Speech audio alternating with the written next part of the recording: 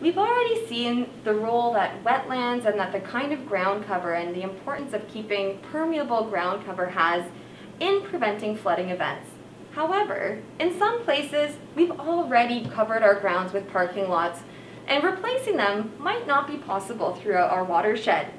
What we've done in some different areas is create structures that also help prevent that flow of water and really help to slow down water and protect our existing infrastructure and houses. One of these kinds of structures is essentially a wall that we build to protect against the high rising levels of floods. This is called a dike, and we might have noticed them in downtown London, the West London Dyke. Uh, flows along the Thames River, and that's been designed to protect houses that lie behind that barrier. We're going to add in a dike to our model right here by putting down this wall of clay that will protect this house and also if there were other houses behind this house they would be protected by this as well. Right, we've got that in there. But this alone, this won't slow down the flow of water. We'll still have those fast rushing waters flowing through and this is where the role of a dam can come in.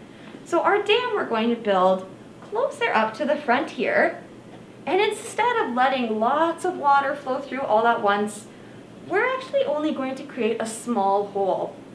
We have a few dams on the Thames River, and we can control the amount of water that we let flow through the dam at any given time by opening and closing the different gates. Today, because we know that we have our two liter rainstorm coming, we're going to close most of our gates and only leave a very small opening. So once again, we're going to do our same experiment with our parking lot ground cover again. We have our two liters of water.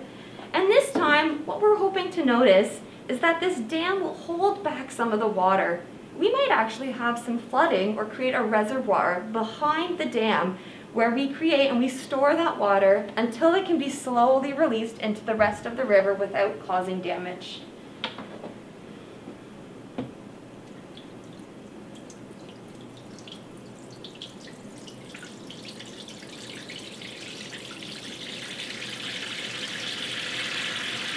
All right, our water is in and we'll notice we have this large reservoir behind the dam where the water is being held back so that it goes through much more slowly throughout our river. It's still not doing quite as good of a job as our wetland did, but thankfully, we've also built our dike here. So this is protecting some of these low-lying houses.